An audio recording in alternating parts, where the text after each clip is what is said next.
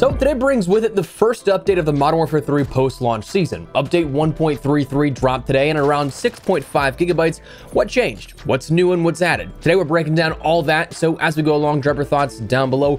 What do you think of this update? Good changes, not too pleased, whatever the case, drop your thoughts down below. But if you enjoyed the video, you'll find it all insightful, do me a favor and drop a like on it, and if you're new to the channel, make sure you subscribe so you don't miss a single thing regarding all things Modern Warfare 3. We got a lot up on deck here that you still won't want to miss, and I'd love to have in the community. Final notes, make sure you check out my friends over at G Fuel Code Espresso get you 30% off your entire order. And check out the link down in the description below if you guys want to join us while we stream here during this COD grind season. I'd love to see you in the chat. Anyways, let's get into what update 1.33 changed for Modern Warfare 3. So first and foremost, the patch notes did issue a disclaimer here saying, due to unforeseen issues, not all of the changes scheduled for today's update were able to be released. Our teams are hard at work to get key movement changes, multiplayer weapon balancing, zombies gameplay and stability fixes, and more into the next available update. So Kind of sounds like we'll have another title update here coming at some point in the nearish future to fix more of these issues persisting and another round of balancing passes, but for the time being, some key issues have been fixed, others maybe not so much. But let's firstly start on what content is on deck. Introduced with this new title update and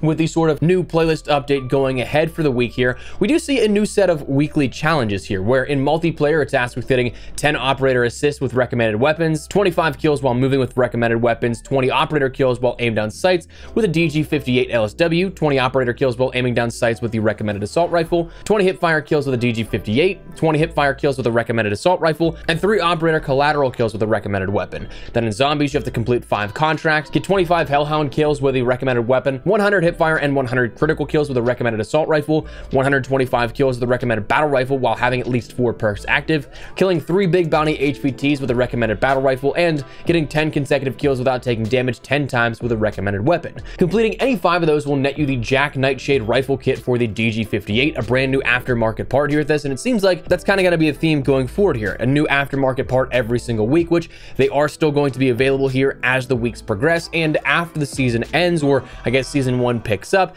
those will still be available via in-game challenges, but just not a part of those weekly challenges. But more importantly, if you're like me, you want to complete these new weekly challenges, not necessarily for the aftermarket part, but instead for the Golden River camo that's the reward for completing four weeks of the preseason weekly challenge sets. That, of course, not quite being available just yet and available in two weeks time, but to get ahead and so you're not doing four weeks worth of challenges in the final week, I'd say it's important to go for. Now, additionally, one thing that was supposed to be live here as of today, and as of recording this, it's not very well likely could be as the time this video goes live. Maybe it's just a little bit behind schedule, but the True Legends event was scheduled for today in partnership with the Call of Duty Endowment lasting from today until this time next week. So the event should come with 10 tiers of items, the emblematic sticker, a 30 minute double XP token, the always forward large decal, 45 minutes of a double weapon XP token, the got your back weapon charm, the stacked large decal, the Anthem emblem, the flanked calling card, the 60-minute double battle pass XP token, and the Brave Stripes weapon camo, a universal weapon camo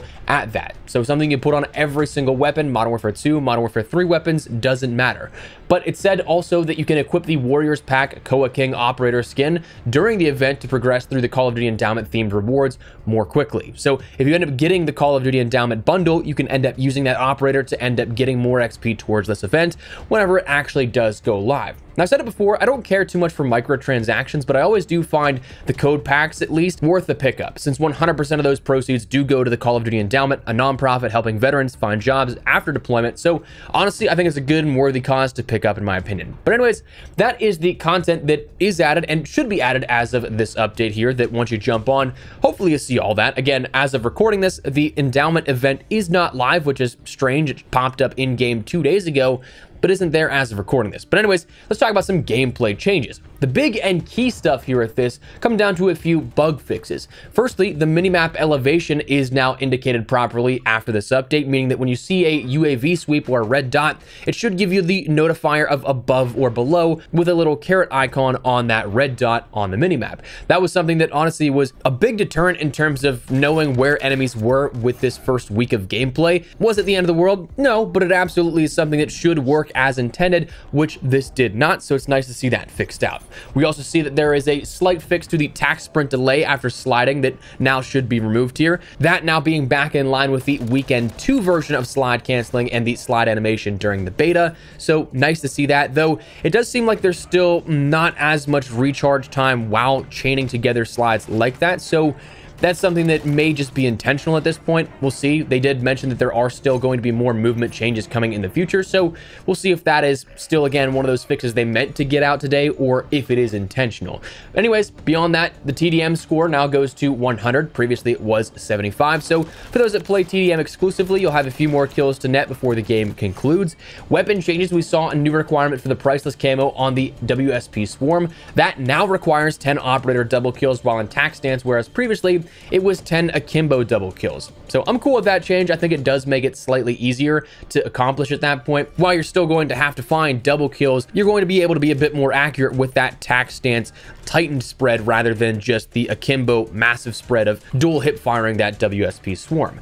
Also, I will say I think that the double kills are pretty easy. Right now, it seems like they're very generous in the timing. It might genuinely be if your name is still in the feed that it counts as a double kill, which if you're not aware, the feed moves pretty slow unless everyone's just getting massive amounts of kills and it's just speeding through it. But that does stay on the kill feed for quite some time.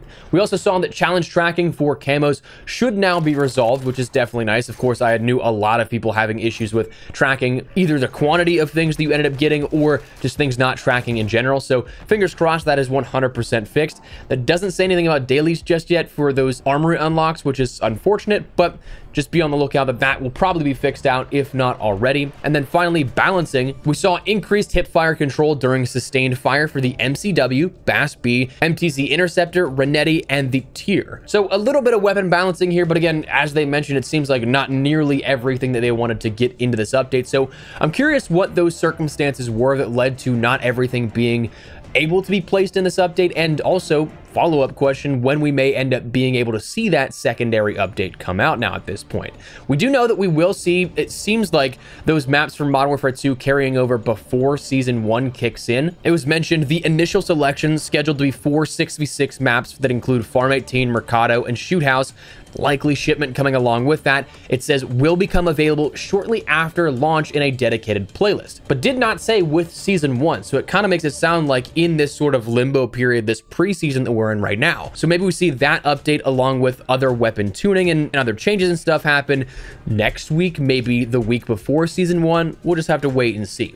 But anyways, if you're curious, there were still a key few items that were not fixed or adjusted. The big ones that I noticed here at this were that double XP tokens in the UI in-game should have had a fix for them getting stuck, but they have not. So that means if you go in-game and you activate a double XP token, it'll showcase that it does activate, but it doesn't show up that timing that you have left on it. And it won't also let you activate any out of game beyond that. So it just bugs out. You have to restart your entire application and then you can jump back into actually seeing the time and also activating more tokens. And then finally, the underbarrel bug with the Pullum 1.762, that was not fixed as well, where that will still give you the match rules data error that would kick you out of any game, any matchmaking you were in, or just put you back into the main menu when you're at your create a class menu, not searching for a game or something. So fingers crossed that and more will end up having more stuff and more fixes coming in the future, but that is the update that we got today. Is it 6.5 gigabytes worth of data worthy? I don't quite know. Again, there's probably some stuff on the back end that was added in that hasn't quite been communicated. Maybe some prep stuff for season one we don't quite know. But anyways, that is the update here in a nutshell and everything that you need to know. So that is we're going to wrap it up. Before we do, again, make sure to check out my friends over at G Fuel. Code Espresso can get 30% off your entire order here to fuel your COD grind this season. G Fuel's like my cup of coffee in the morning. I'm drinking my team's flavor Pog Juice out of our tall boy shaker, getting that sort of double dose dose of G Fuel today. So if you guys want to check that out, any of the flavors I'd recommend are the Morbius Nectarine flavor, Hype Sauce, Strawberry Banana, Pink Trip, again, Pog Juice. Love all those and more. So if you guys want to check it out, link in the description below and code Espresso can give you 30% off your entire order. But for now, that is what we're going to call it. So let me know your thoughts down below. Like this update, dislike it, whatever the case, drop your thoughts. But if you enjoyed the video, you found it at all insightful, do me a favor and drop a like on it. And if you're new to the channel, make sure you subscribe so you don't miss a single thing running all things Modern Warfare 3 as we gear up for still a lot upcoming, more camo guides, tips and tutorials, all kinds of news coverage, and of course, Warzone's integration in the not so distant future. We'll have you covered with all that kind of stuff. So love to have you in the community. But for now, thanks so much for watching. Mod Espresso. I'll see you later. Take care and peace.